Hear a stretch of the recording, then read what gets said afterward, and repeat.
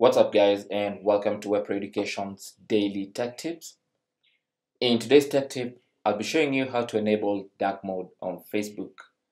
Now I've done this video before, just when they launched dark mode on Facebook, but since then there has been a little change on how to enable dark mode on Facebook and I figured I should do a 2022 update.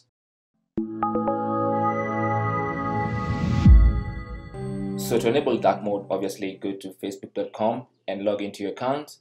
And then on the web interface, you want to click on this little downward facing arrow on the top right corner and then find display and accessibility. So click on that and then that's where you'll find the dark mode option. You can see it's currently turned off by default. You can turn it on by simply enabling that.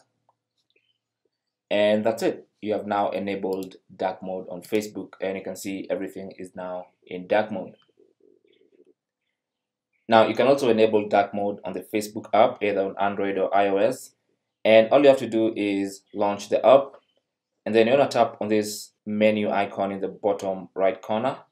And from there you can scroll to settings and privacy. So tap on that and then tap on settings now on the settings page, you want to go to preferences and in the preferences section, you should see dark mode.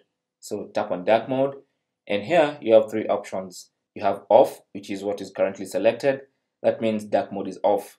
You have on, which basically puts Facebook in dark mode regardless of whether the phone is in dark mode or not. The third option is system, which basically adopts what the phone or the operating system or the phone you're using is in. So if your phone is in dark mode, Facebook will be in dark mode automatically and if your phone is in light mode it's gonna go to light mode automatically. So I'll tap on on and that will enable dark mode automatically on Facebook. And that's basically how to enable dark mode on Facebook in 2022 thanks for watching. You can leave your comments and questions down below. Don't forget to share and subscribe for more tips. Until the next one my name is Chris and I'll talk to you guys soon